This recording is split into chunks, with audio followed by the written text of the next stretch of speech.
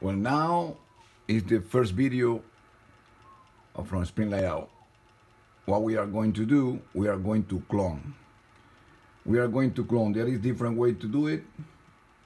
But this, in this case, I'm going to talk about when you have a PCB. You have a PCB like this, and then you put in your scanner. If you scan for yourself, you know exactly how is the scan copy.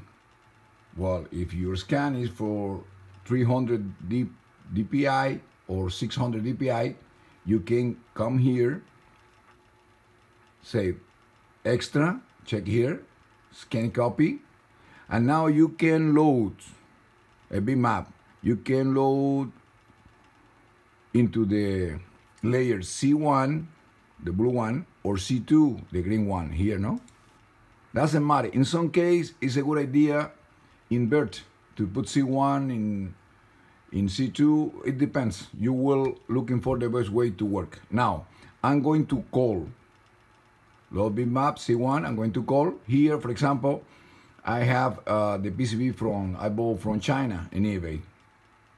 It's a top button, and here is mirror. What does mean mirror? Okay, now it's 26 here, the resolution. The resolution is 96, 96 dpi, dot per inch.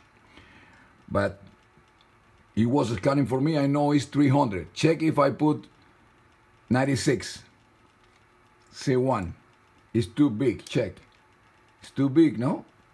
And then I have to go back here and put here 300 because I know my scanner was set up to 300. Okay, now here you can change the grid okay? The best option is to put here to avoid to see in front of you no? Now how I know is exactly what I go here for the component. I take a one transistor for example this one only to test. When you click here when it's green it's not through hole. When you click here it's through hole. I put here and I know that is exactly the size I need. Okay, 300 dpi, scan for me with my scanner, is okay to clone. Again, how? Go to open the Sprint Layout, go to extra, scan copy, and I call the copy when you have saved in, and I can see visible in any layer. Here, um, one or two. If I want to delete, it's easier. You open here, check here in the bottom, check here the mouse in the bottom. Okay, you say show bitmap, and click it, disappear. Show bitmap. Now when you are working, if for any reason you need to see the layer and you hide, you want to hide the scan copy, you click here. Check here in the bottom. The, the mouse is here in the bottom. Hide, hide.